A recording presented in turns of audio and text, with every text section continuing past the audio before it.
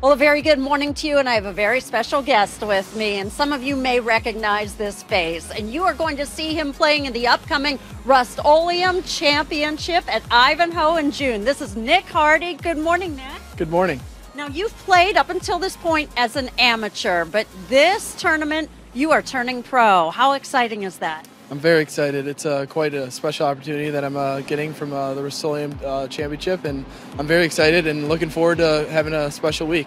Well, the thing is, okay, you graduated from Glenbrook North High School, right? So a lot of folks know who you are. Yes, uh, you know, I'm looking forward to getting out in front of a hometown crowd and uh, getting the opportunity to compete in such a great tournament and compete in this tournament. This is the first time you could actually win cash this time because you've been an amateur up until this point. And what does it mean to have a sponsor's exemption?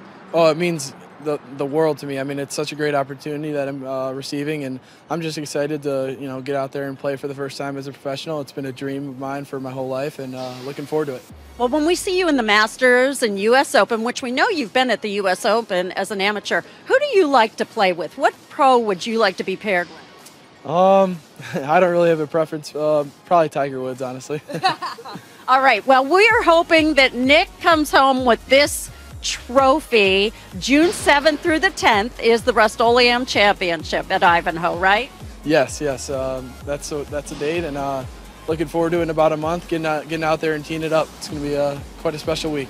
Well, I would love to tee it up with Nick Hardy one of these days and see this trophy in his house. How about it, Terrell and Tanya? Yeah. Rooting them on. There are the dates right there, uh, and information that you can find on the website as well. Tracy, thank you so much. Hey, if you like that video, be sure to subscribe to our ABC7 Chicago YouTube channel.